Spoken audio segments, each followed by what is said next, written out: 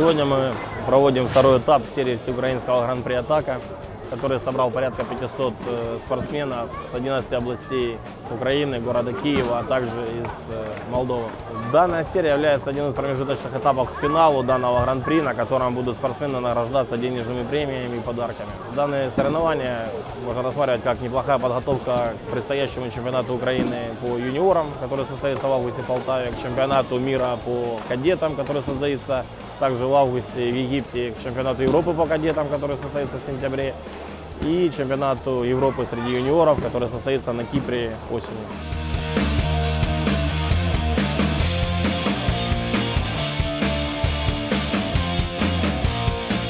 Мне очень нравится это вид спорта.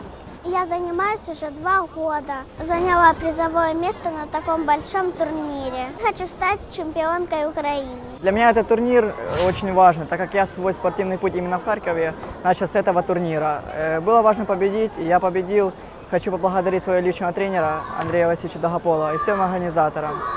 Турнир э, очень хороший, организация хорошая, медали, кубки красивые. Есть призы за лучшего спортсмена. Сейчас у нас будет э, подготовка чемпионата Украины, который будет отбор на чемпионат Европы. Чемпионат Европы будет проходить на, э, в Кипре. Хочу взять медаль на Европе, так как уже последний год в юниорах. Уже нужно брать медаль на Европе.